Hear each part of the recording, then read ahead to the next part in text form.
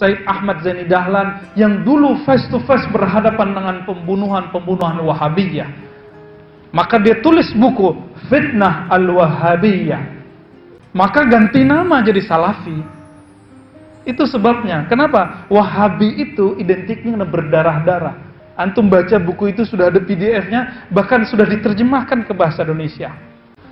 Dan itu berulang lagi tahun 79 mereka bawa senjata namanya Juhaiman. Maka pecahlah Wahabi yang ilmiah dengan Wahabi bersenjata. Nah, Wahabi yang ilmiah itu menyebut dirinya sekarang Wahabi murni, Wahabi resmi. Mereka cuma ngaji-ngaji aja, tapi kita diteror dengan kata-kata bid'ah, sesat gitu ya. Tapi masih mending lah daripada yang bawa-bawa senjata ini yang mengerikan sekali. Sekarang silakan cek buku kitabnya Syekh Saleh Fauzan, masih hidup. Dan dia menyebut orang istighasah tawasul dengan asyirkul akbar. Wajar di Bangladesh, di Sri Lanka orang lagi tawasulan, maulidan dibom. Kenapa? Dianggap syirik.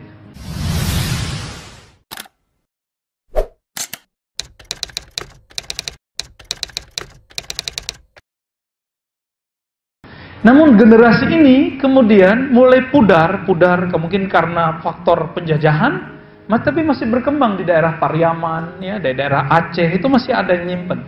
Saya masih ketemu dengan orang-orang yang menyimpan itu. Maka muncullah kebangkitan berikut.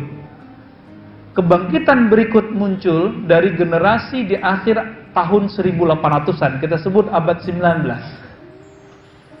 Maka muncullah di, di Sumatera ada Syekh Al-Hafiz Al-Mukri Abdurrahman dari Batu Ampar ya. Itu kakeknya Bung Hatta, umurnya panjang 150 tahun.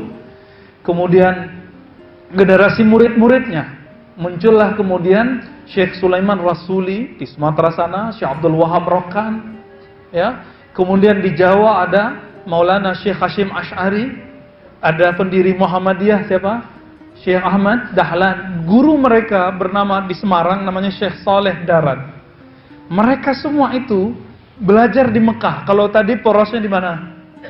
Madinah, sekarang di Mekah di Makkah mereka berguru kepada Syekh Ahmad Khatib Al-Minangkabawi, berguru kepada Syekh Im, Syekh Im, Termasi, Mahfud Termasi dari Termas Pacitan.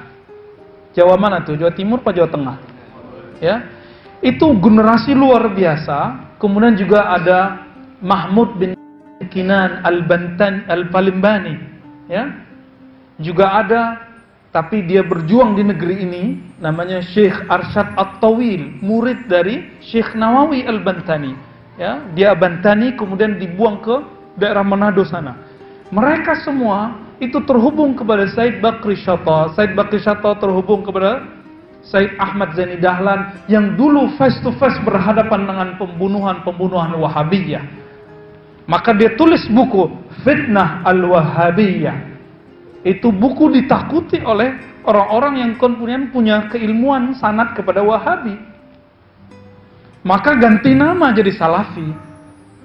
Itu sebabnya. Kenapa? Wahabi itu identiknya berdarah-darah. Antum baca buku itu sudah ada PDF-nya, bahkan sudah diterjemahkan ke bahasa Indonesia. Judulnya apa?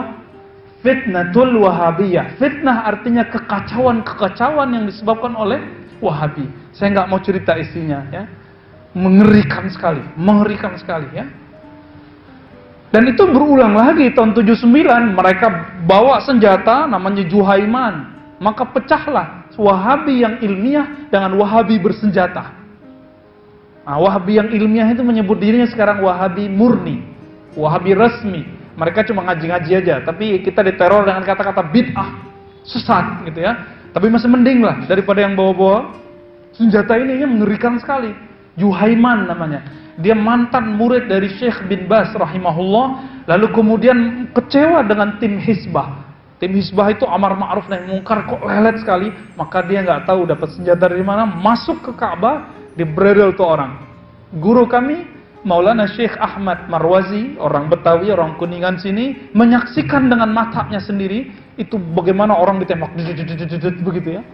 Beberapa tempat masih ada bekasnya terjadi lagi. Mereka menghalalkan darah sesama muslim. Bagaimana kita tidak muslim?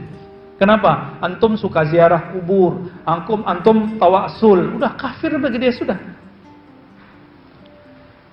Ah, ulama kita silsilah ilmunya bukan ke mereka, ke siapa? Ke Sayyid Ahmad Zaini Dahlan yang beliau itu langsung berhadapan dengan mereka. Beliau lah mufti di mufti Syafi'iyah di Mekah. Imam, imam di Mekah waktu itu. Maulana al-Imam Sayyid Ahmad Zaini Dahlan. Taib. Marhaban. Al-Alamah Syekh Idrus. Fadal.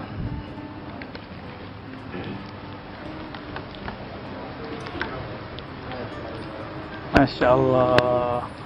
Taib. Tadi kita sampai di Maulana al-Imam Sayyid Ahmad Zaini Dahlan.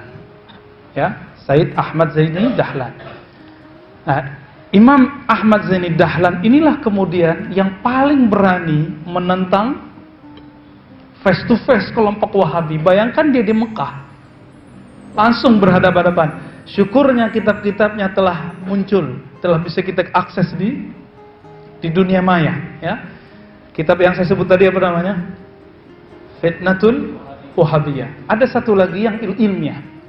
Ar-Raddu 'alal Wahabiyah di situ dia membahas tentang tawasul. Ketika uh, dan ini berlanjut loh ya. Jadi ternyata kesalahan itu, gagal paham itu diwariskan turun temurun. Apa pemahaman Wahabiyah terhadap tawasul?